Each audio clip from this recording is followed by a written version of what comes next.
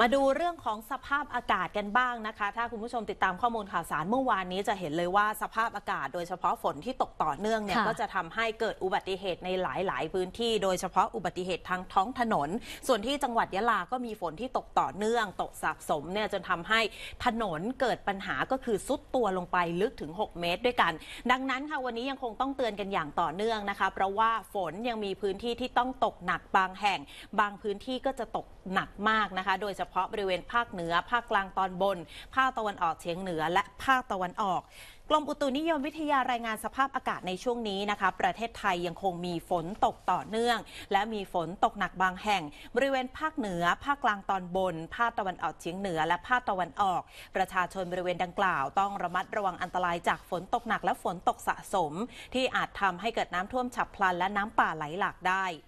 ส่วนบริเวณอ่าวไทยค่ะมีคลื่นสูง 2-3 เมตรนะคะ ชาวเรือบริเวณอ่าวไทย ควรเดินเรือด้วยความระมัดระวัง และเรือเล็กควรงดออกจากฝั่ง